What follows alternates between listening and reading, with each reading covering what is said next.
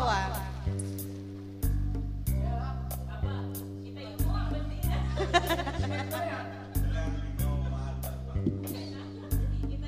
I feel so bad, got a worried mind. I'm so lonesome all of the time. Since I left my